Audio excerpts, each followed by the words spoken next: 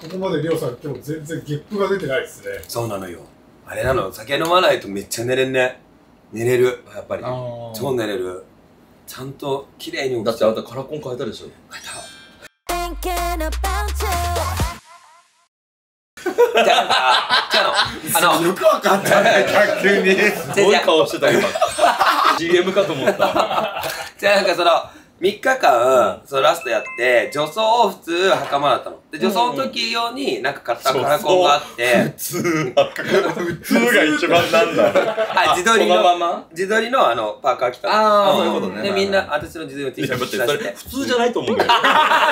一人のパーカー着ることは普通ではない。でもうちらが、うんうんって聞いてそうだねって私もやっぱ認知症のババアみたいな話し合わせようとしてくれてんの。そうだね普通だよねで、後で出るでしょ。普通じゃないよね、あれ。思った介護士職員の悪口みたいなで、それがあいっぱいあるからもったいないから、ちょっとつけようかなみたいな、普段でも。で、つけてみたらなんか割と悪くはないよね。なんか髪の色と合ってる感じでいいうん感じだな、ほら、あんま人前に出る機会が少なくなっちゃったもんだから。まあ確かにねうんカラコンつけるのもねなんか自己満じゃん、なんか。本当に自己満だよねうん。鏡とずっと喋ってるみたいうんな。綺麗ね、とか。角度こうしようとか。何色かな見た瞬間分かったカラコン違うと思ってへいや、分かる人は分かんだよ。え分かる？くない？あ、でもほら、昨日言ったじゃん、ほら、ちょっとキュルンってしたね。綺麗になったねって。うん、なんか前が汚かったみたいな。すごいね。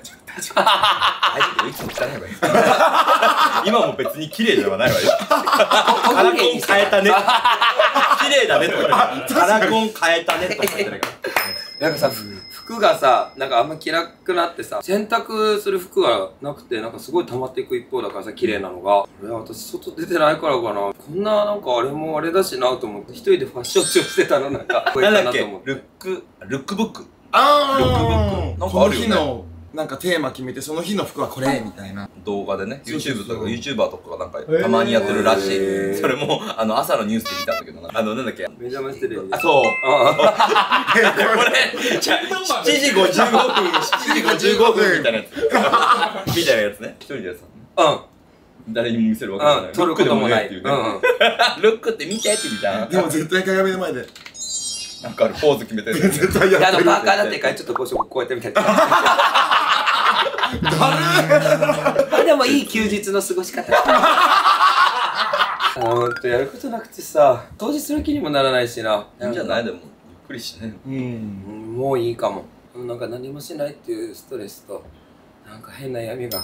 だから、だからもう毎日悪夢だもん。なんかやっと寝れると思ったのに、バスに乗って、日本のバスだったのよ。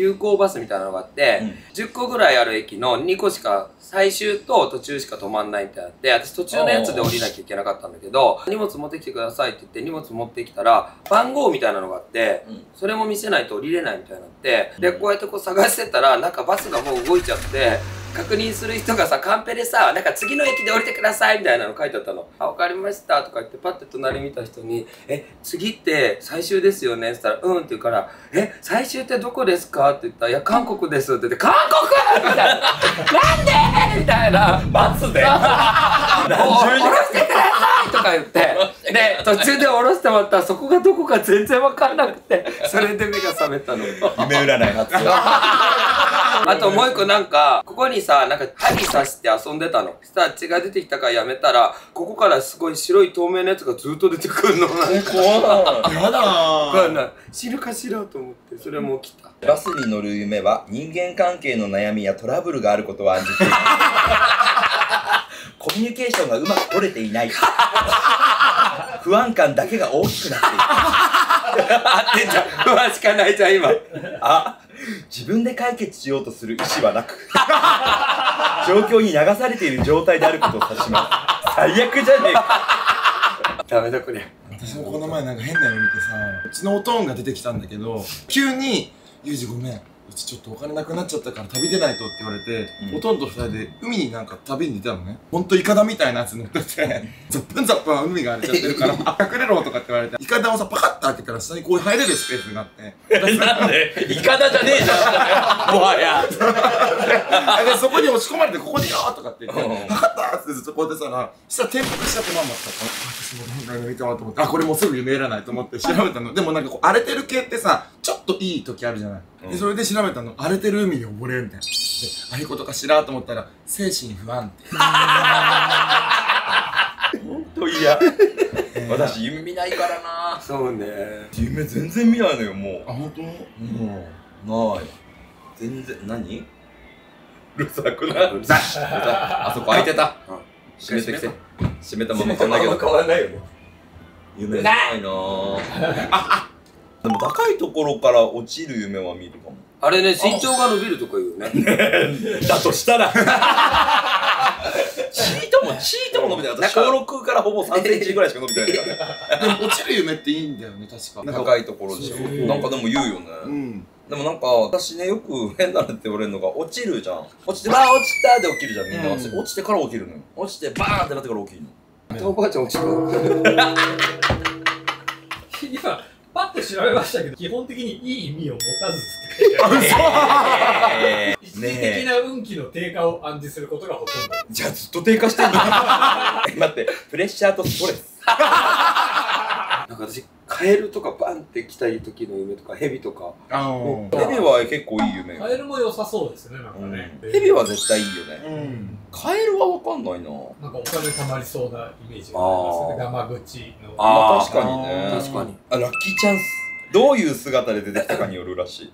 目の前にガッてこう来る姿じゃない。カエルに追い回されるはあるけど追い回されたら